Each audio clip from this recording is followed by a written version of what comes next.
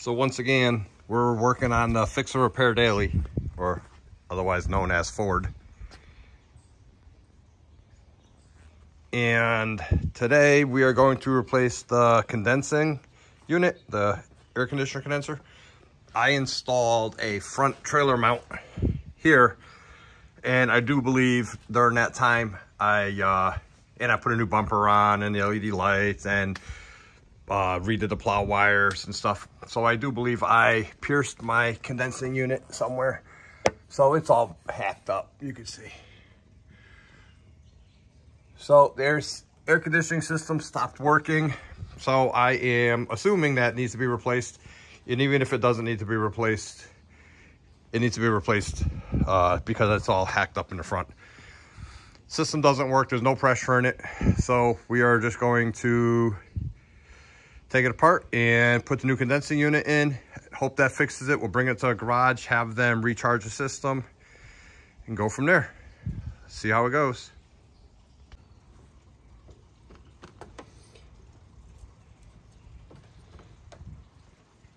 So we got to remove these plastic, this cover here. The condenser is right up front.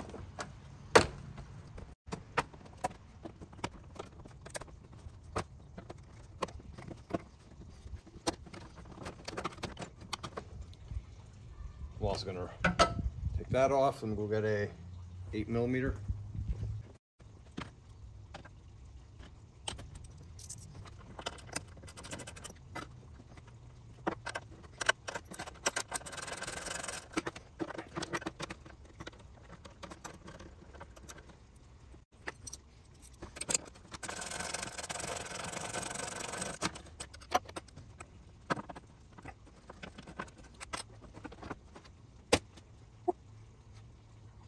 It's actually the plow wires that did it bad.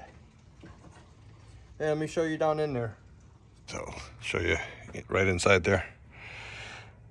So you got my plow wires right here. Those have definitely vibrated into the coils. This here is the power wires to the plow. This one down here that's tucked up in there that's all electrical taped that's actually my front jumper cables, hardwire jumper cables I installed. That doesn't seem to be touching it too bad, but you can see there are some abrasions here. And then look here. Looks like these have, uh, this has taken a, taken a beating right there. This whole thing is used and abused. So radiator has a little ding right there. So basically it's this bracket, this bracket, these two nuts, then the lines come off. These posts should be with the new one. They should come. These are just posts that go into the aluminum block here that the lines to grab onto. So it should come with new ones. Otherwise, I'll have to take these off. So it should be a nice, quick, easy thing. But once I get it out, I'm actually going to wrap up all those wires, tuck them all up in it with some whole bunch of zip ties to open it up. And I'm probably going to run a garden hose over here or I'll drive the truck over there and I'm going to try to rinse off that radiator while I have access in there, clean it all out. So, but yeah, this condenser has uh, seen better days. Let's hope that's the problem.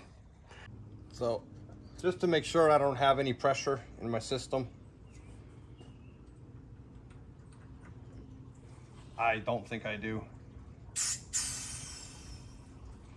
Yeah, very little. That was it. Just a little oof.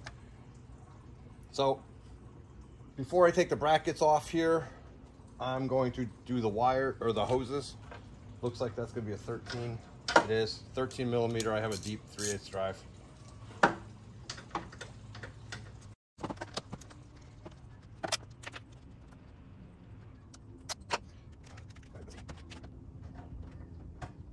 Okay, they're off now. Let's do the eight millimeter brackets.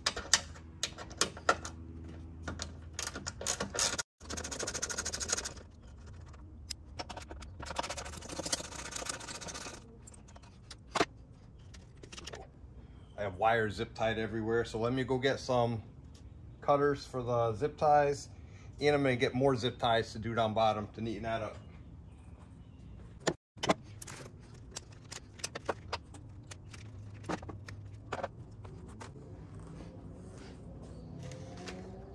Lift it out.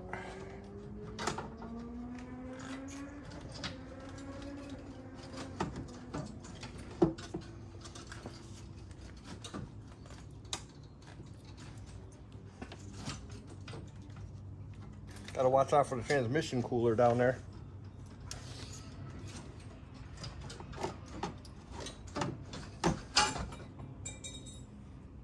Woo! I think that's a hole. Yeah, that's definitely a hole. And you can see where all the pollen sticks to it. That's where all the oil leaked out. Wow, that's in rough shape.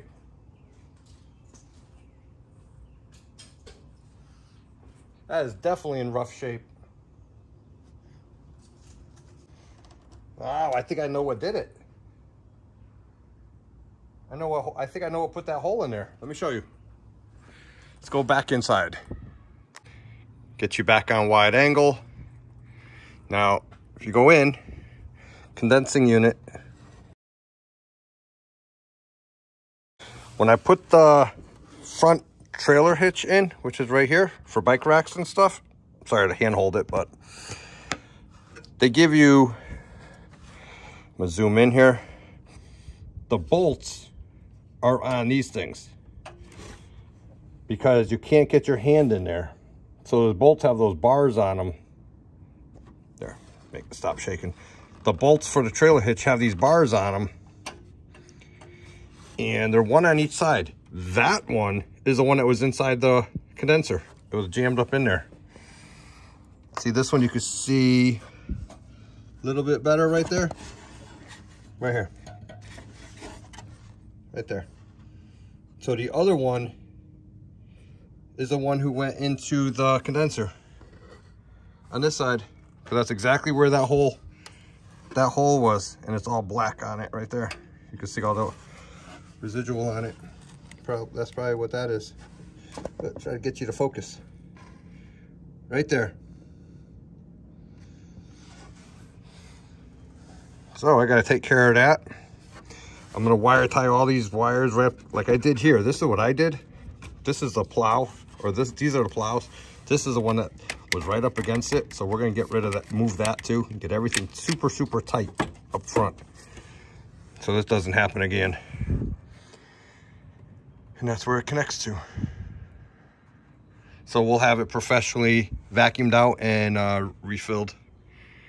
Put you back on the tripod.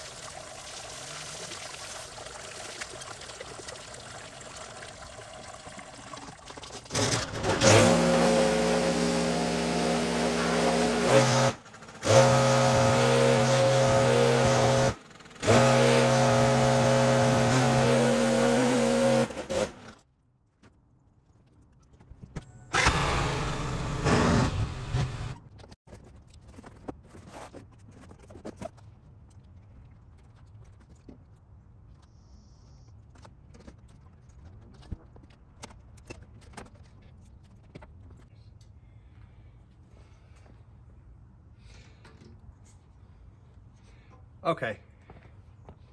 So the new one did not come with the posts. And now I gotta figure out a way to get these out. I might have to heat this up with a torch because they're in there pretty tight. All right, let me see what I can do. Most important thing, let's move this new one.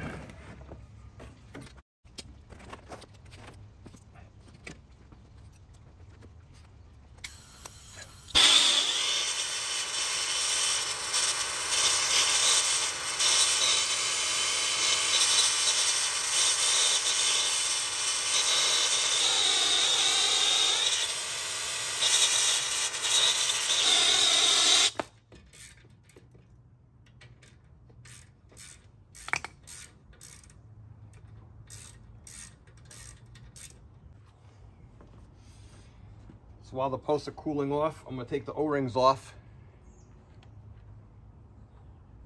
and go get the new ones.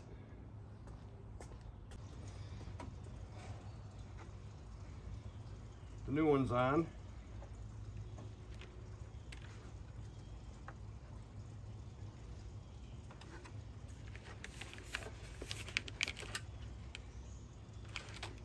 Let's get the new condenser has two plastic rubber plugs in it we got to take out but I'll leave those in there until I get it in there.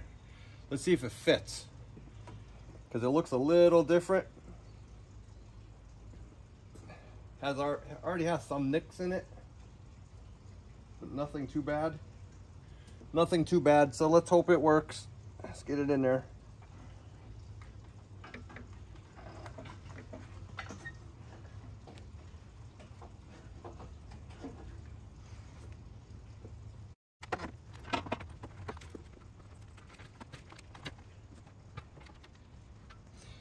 should be good. Let me see if those posts are cool yet. Those got to go in here.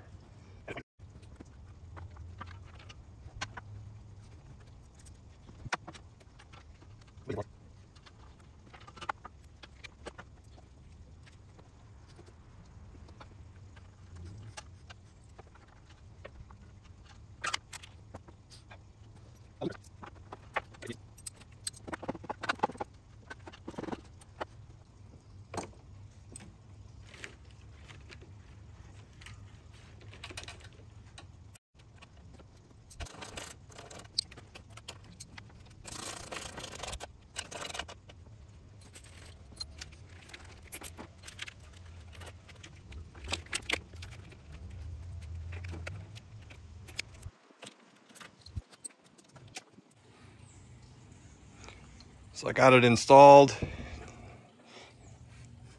There's all the, tucked all the wires up out of the way. Moved that metal bracket down there. Looks pretty good. Super sunny out and hot. Sorry if I'm, can't even see what's in the phone. Put new O-rings on. Had to reuse the, the two posts, but that was easy. Just heat it up with a torch to get out of the old one. Plenty of room tucked up all the wires. Nothing's touching it. So I just got to put the rubber guard back on and the hood latch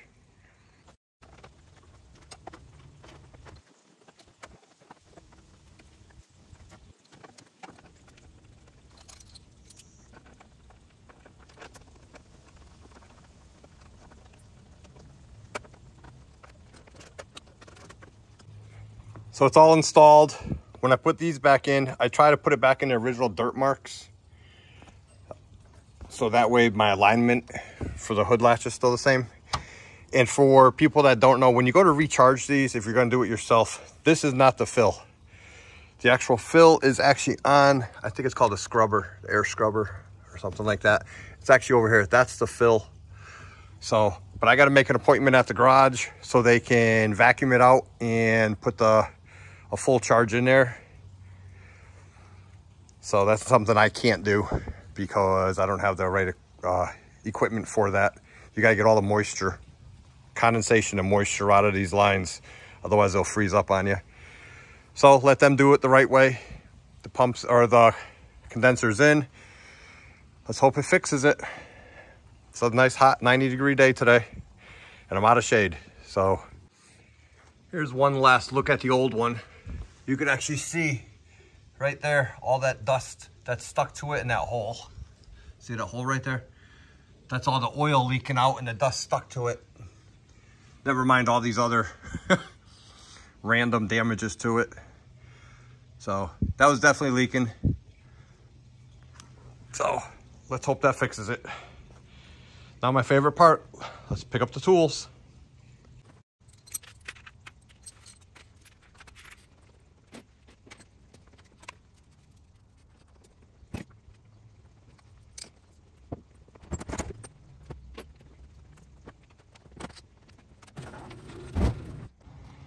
Wanted to give you an update on the air conditioner on uh, the 2001 Ford F350.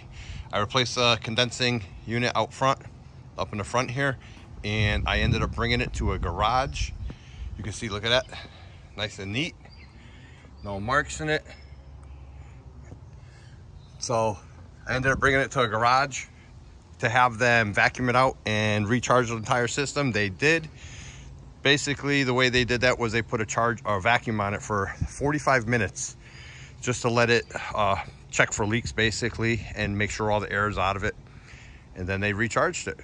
So it only cost me $250 to have them do it and it just reassured me that it was done right. So air conditioner is up and running. So now the next step is I'm going to go on vacation shortly in about two weeks so I'm gonna take the dump bed out and I'm gonna start getting the truck camper ready. So that'll be coming up in the future. Thanks for watching. Hope this helps you fix your air conditioner. Super easy fix. It was a lot easier than I thought, especially having someone else just do the Freon portion of it, 134A. So thanks for watching guys.